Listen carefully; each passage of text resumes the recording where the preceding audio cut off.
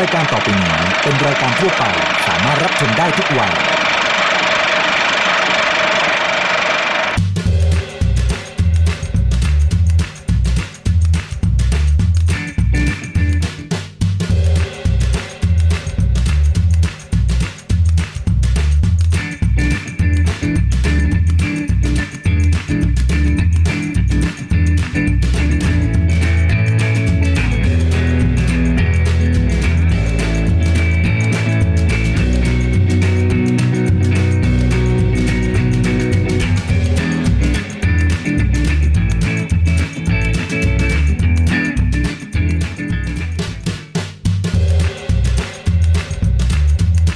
สนับสนุนโดยผลิตภัณฑ์ผลไม้ fruit spread และน้ำเชื่อมแต่งกลิ่นตราเนเจอร์เทเพราะทุกสิ่งทุกอย่างนะครับ ต่างก็มีเรื่องราวที่น่าสนใจที่เป็นเอกลักษณ์ของตัวเอง แล้ววันนี้นะครับฮาเตียนคาเฟ่ก็พร้อมจะบอกเล่าเรื่องราวของตนเองในรายการอดเปรี้ยวกินหวานทางช่อง Workpoint หมายเลข 23 แล้วล่ะครับ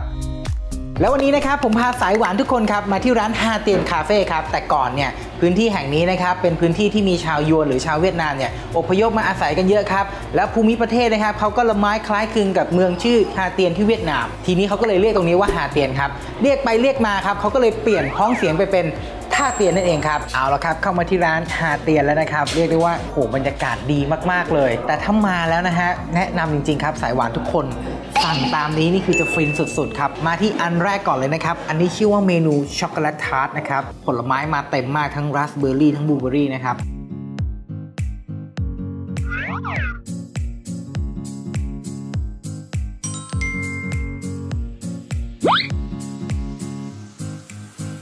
อร่อยมาก ต้องบอกว่านี่คือพรีเมียมจริงๆนะฮะทาร์ตเนี่ยคือร่วนมากๆ ส่วนช็อกโกแลตเนี่ยคือช็อกโกแลตดี คือมีความหอมขมนิดๆ ข้างบนเนี่ยจะมีตัวคล้ายๆกับซอสเบอร์รี่นะฮะแล้วก็มีตัวผลไม้สด ซึ่งอันเนี้ยรสชาติมันออกมาจากตรงนี้ครับความเปรี้ยวความหวานมันลงตัวจริงๆอีกหนึ่งเมนูนะครับ ต้องบอกว่าน่ากินมาก ๆ เลยอันนี้ อันนี้ชื่อว่าสตรอเบอรี่ชีสพายนะครับ เห็นด้วยตาปุ๊บเราจะรู้เลยว่าสตรอเบอรี่มันใหญ่มาก ๆ พรีเมียมสุด ๆ ครีมชีสของเขานะฮะเขาบอกว่าเป็นชีสที่ทำเอง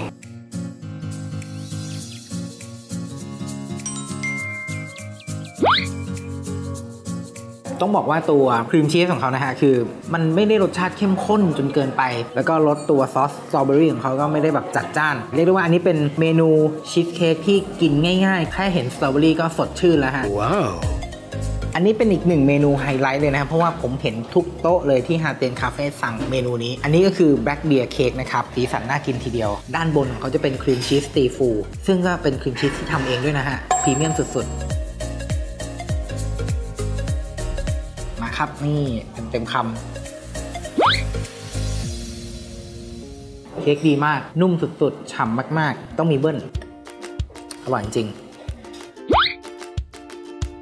แนะนำครับ Black Beer Cake ครับ นอกเหนือจากเมื่อกี้ที่ผมบอกมีบลูเบอรี่สตรอเบอรี่แล้วยังมีแครนเบอรี่ด้วย มันก็จะมีรสเปรี้ยวนะฮะ รสหวานนิด ๆ อร่อยมาก ๆ ครับ อันนี้อยากให้มาลองกินเลย แล้วก็เวลากินเนี่ย กินพร้อม ๆ กันเลยมีทั้งครีมชีสมีทั้งเค้กแล้วก็ผลไม้ฟินสุด ๆ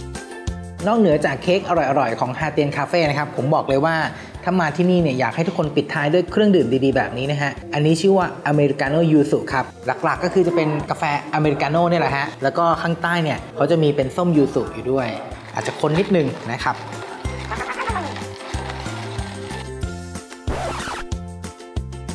อืม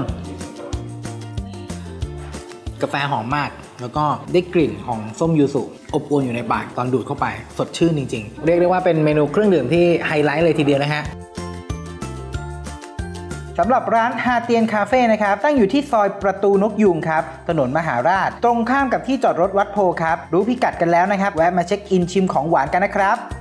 วันนี้อาจารย์ยิ่งศักดิ์มีเมนูเค้กมะพร้าวอ่อนมาฝากสายหวานกันนะครับ จะมีขั้นตอนการทำยังไงเนี่ย ไปชมพร้อม ๆ กันเลยครับ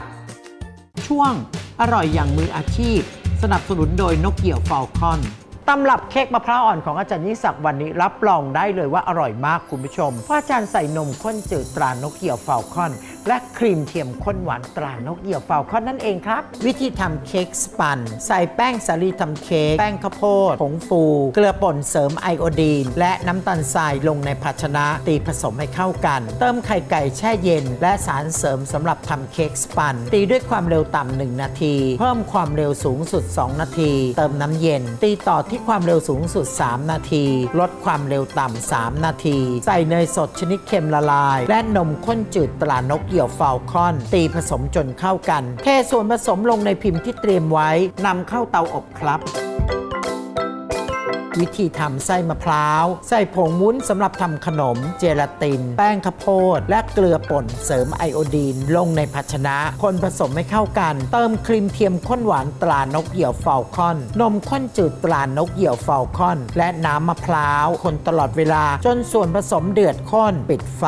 เติมเนยสดชนิดเค็ม และเนื้อมะพร้าวอ่อนหั่นบาง คนให้เข้ากันเตรียมไว้เป็นไส้ วิธีทำบัตเตอร์ครีมนม คนผสมบัตเตอร์ครีมสูตรที่ชอบกับครีมเทียมข้นหวานตรานกเหยี่ยวฟอลคอนเข้าด้วยกันเตรียมไว้ วิธีประกอบแบ่งเค้กสปันจ์ที่เตรียมไว้ออกเป็น 2 ส่วนทาไส้คัสตาร์ดมะพร้าว ลงบนเค้กชิ้นที่ 1 ประกอบด้วยเค้กชิ้นที่ 2 เคลือบก้อนเค้กด้วยบัตเตอร์ครีมนมให้ทั่ว จากนั้นโรยด้านบนด้วยเนื้อมะพร้าวขูดเป็นเส้นนำเข้าแช่เย็น ตกแต่งด้วยช่อสะระแหน่ตัดเป็นชิ้นพร้อมเสิร์ฟคุณผู้ชมสามารถติดตามสูตรความอร่อย และความรู้มากมายได้ที่ www.falconforprofessional.com นะครับ